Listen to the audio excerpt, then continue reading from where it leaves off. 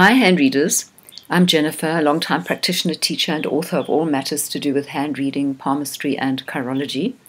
And today I'm going to be talking about droplets, which are protuberances of flesh, which on some people's hands look as if they're falling off the tips of the pad of the flesh of the finger. Not everybody has droplets, and today we're going to look into what it might indicate when you meet with somebody or if you yourself happen, happen to have droplets on your fingertips. If you've been watching my previous videos, you may have heard me talk about counseling and coaching themes.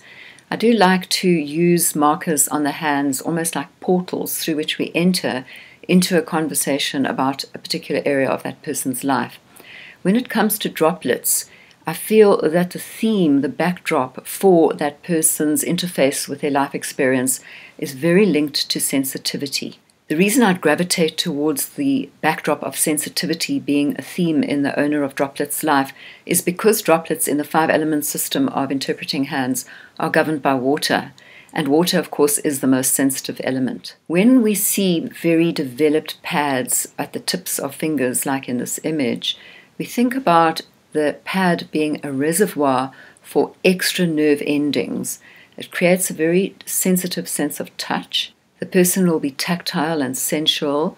They might often reach out to touch the fabrics around them and would be very likely to be averse to certain fabrics on their skin. They might even be tactile defensive to the point of actually having an aversion that's quite acute, that certain fabrics cannot be worn against their skin at all. And mostly you'll find that people with droplets will gravitate towards natural fabrics. So, in a reading with somebody with droplets, I would also inquire into the extent of their tactile sensitivity and how that might be influencing their life. Droplets on fingertips are also a sign of kindness and compassion in the owner.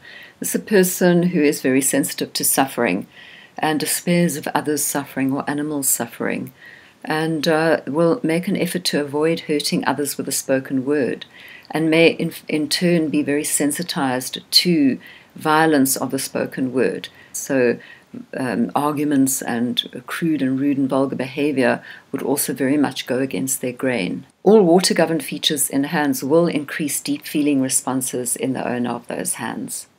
Another thing that we consider for the person with droplets is that their droplets activate or increase their, the extent of their intuition we can be quite sure that that person will have quite a developed sense of intuitive perceptiveness. It's also believed that people with droplets, because of their good sense of touch, don't easily drop things. It's quite a cute meaning there.